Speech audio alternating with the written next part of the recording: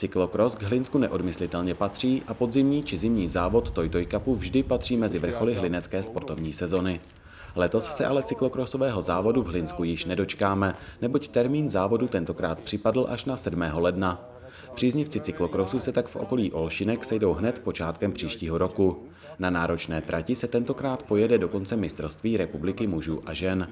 Více již ředitel závodu Leoš Chvojka. Pro letošní sezonu jsme získali mistrovství republiky v cyklokrosu, což je vrchol domácí sezóny.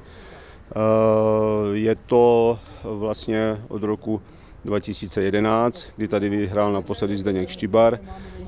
Zase se můžeme těšit na kompletní českou špičku a závodu se zúčastní pouze dvě kategorie.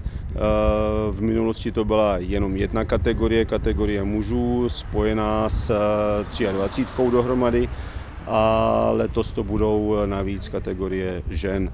Eh, ženy budou startovat eh, v 11.30 a start mužů oproti tradici je posunutý o hodinu dopředu na 13. hodinu. Pořádání cyklokrosového mistrovství s sebou samozřejmě nese celou řadu přípravných prací. Ačkoliv zbývají do startu závodu ještě necelé dva měsíce, již nyní jsou přípravy v plném proudu. Dneska jsme tady proto, protože čekáme na štáb České televize, eh, kteří jako tradičně jezdí eh, na obhlídku trati, aby si zmapovali, eh, kam dají ty svoje praktikábly, pevné kamery, očka, aby měli tu trať zmapovanou.